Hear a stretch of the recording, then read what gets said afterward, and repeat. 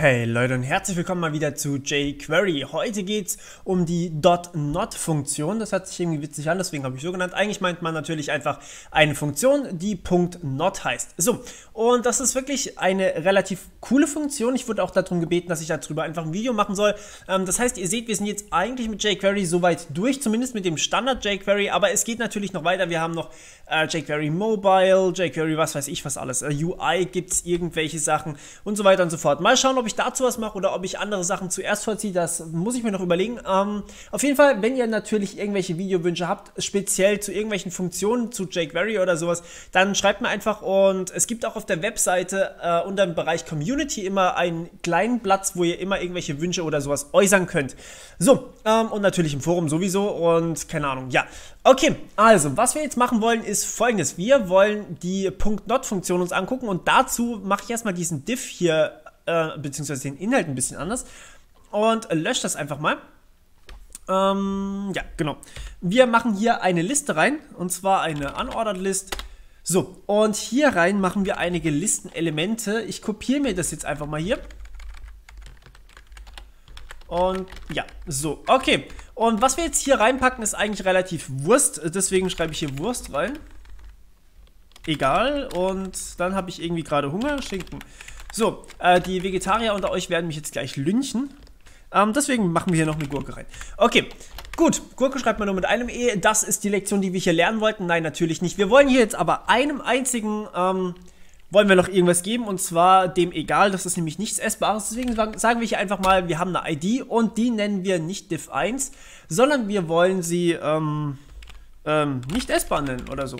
Gut, was wir jetzt hier gemacht haben, ist, wir haben uns im Prinzip eine Liste kreiert, die sieht relativ langweilig aus. Ich aktualisiere das gerade mal. Hier sehen wir, ähm, ja, dass wir eigentlich nicht wirklich was Spannendes hier drin haben. Dieser Paragraph 2 hier unten ist aus einem früheren Tutorial, müsst euch eigentlich nicht interessieren. Ähm, so, und was wir jetzt hier haben, ist einfach eine Liste. Und was wir mit dieser Liste machen, ist irgendwie was ziemlich Witziges. Und zwar sagen wir hier unten einfach mal, ich mache hier mal ein Skript rein.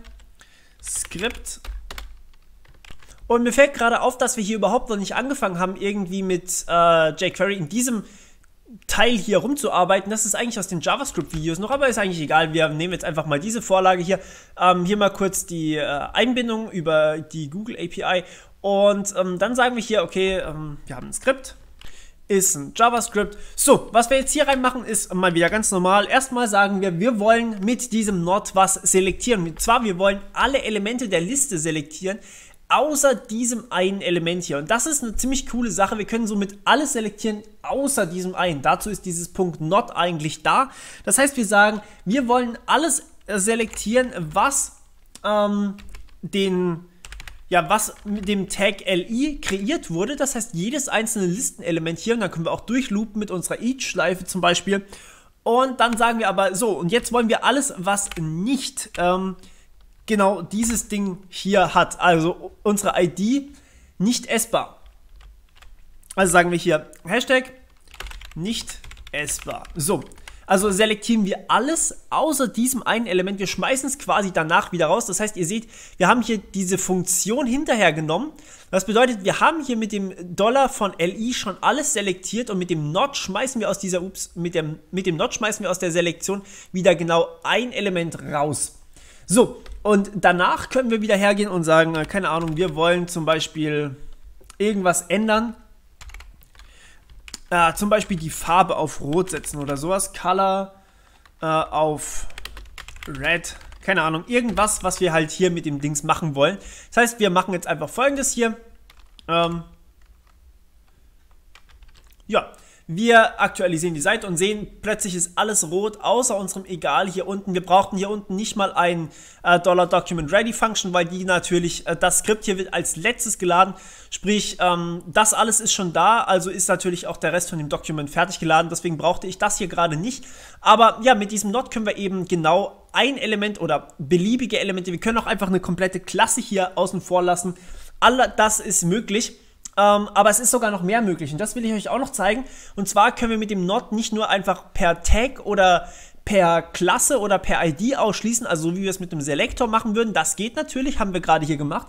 Aber man kann sogar noch mehr machen. Wir können auch, wenn wir ein Element in der Hand schon haben, das heißt, wenn wir irgendwie hier oben sagen, wir haben eine Variable, ähm, also war mein Element. Und das haben wir, keine Ahnung, irgendwo herbekommen, vielleicht auch über eine andere Funktion, irgendwo komplett anders her. Ähm, und dann haben wir zum Beispiel mit Document. Das ist jetzt nur ein Beispiel. Also, wo ihr das Element herbekommt, kann extrem umständlich sein. Vielleicht ist das auch von einer anderen Seite oder sowas an euch geliefert worden. Ähm, aber in unserem Fall machen wir das jetzt einfach mal hier äh, mit dem Get by ID. So, und jetzt holen wir uns sozusagen ein Element hier rein und dieses Element wollen wir aus unserer Selektion rausschmeißen. Das geht genauso. Das heißt, wir sagen hier, mein Element wird aus der Selektion von diesen allen Listenelementen wird rausgeschmissen. Das heißt, im Endeffekt haben wir ähm, alle vier erstmal ausgewählt und dann haben wir von irgendwo anders her dieses Element hier mit dem nicht essbar, also wirklich, das muss nicht über getElement by ID oder sowas gemacht sein, sondern es kann irgendwas sehr, sehr kompliziertes gewesen sein. Und dann sagen wir, okay, dieses eine Element hier, das wollen wir jetzt rausschmeißen, weil das hat schon die richtige ähm, Textfarbe oder was auch immer hier verändert wird. Und von allen anderen wollen wir dieses äh, wollen wir eben dieses Attribut hier ändern. Also das kann natürlich auch eine Animation sein oder sowas. Das sind alles nur Beispiele. Und das sieht dann im Prinzip genau gleich aus, logischerweise, weil wir das Element hier schon vorher haben und genau dasselbe machen. Aber wenn ich jetzt natürlich die ID woanders hinsetze, dann sieht es natürlich genau anders aus. Also zum Beispiel ähm, so könnte man natürlich auch Sachen machen. Klar. Okay, also ziemlich coole Sache.